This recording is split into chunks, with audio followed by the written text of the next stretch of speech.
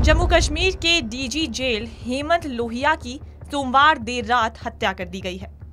इस घटना को लेकर अभी तक दो एंगल सामने आए हैं। पहला टेररिस्ट अटैक का, और दूसरा, मुख्य आरोपी और नौकर यासिर की मानसिक स्थिति और व्यवहार को लेकर। यासिर सीसीटीवी में भागता हुआ नज़र आया था। रात भर चले सर्च ऑपरेशन के बाद गिरफ़्तार कर लिया गया। उससे पूछताछ शुरू हुई। हत्या के बाद मंगलवार सुबह पीएएफएफ नाम के संगठन की रिलीज़ सामने आई।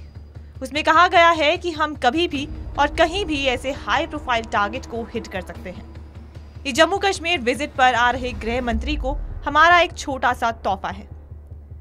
केंद्रीय गृह मंत्री अमित शाह तीन दिन के दौरे पर जम्मू कश्मीर में हैं। शाह की रैली से पहले जम्मू राजौरी में इंटरनेट बंद कर दिया गया था।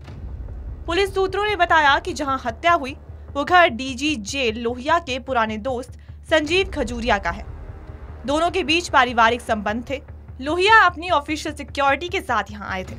लोहिया रात में खाना खाने के बाद आराम कर रहे थे। इस दौरान घर में दो नौकर थे, एक मोहिंदर और दूसरा यासिर। लोहिया ने यासिर से पाव में मसाज करने को कहा। इसी दौरान मोहिंदर को लोहिया की चीख सुनाई दी। वो गया तो कमरे में आग लगी हुई थी। यासिर ने तकिए से गला दबाकर लोहिया को मारने की कोशिश की। शक की वजह से पास पड़ी सॉस की बोतल से गला रेतने की कोशिश की।